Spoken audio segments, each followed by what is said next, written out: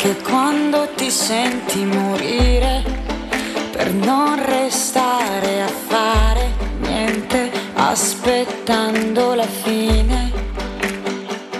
Comunque andare, anche solo.